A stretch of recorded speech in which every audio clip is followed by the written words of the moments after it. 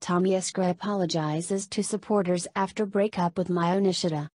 A day after news of their split hogged the headlines, model actor Tommy Esguerra took to his Twitter account to apologize to their fans over what happened. News of their rumored split was confirmed via a statement by their talent management Star Magic on Friday. Tommy started his series of posts by emphasizing that the split hasn't been easy.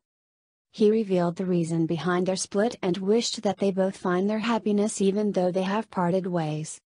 The Langit Lupa stars became close as housemates in their famous Yellow House in 2015.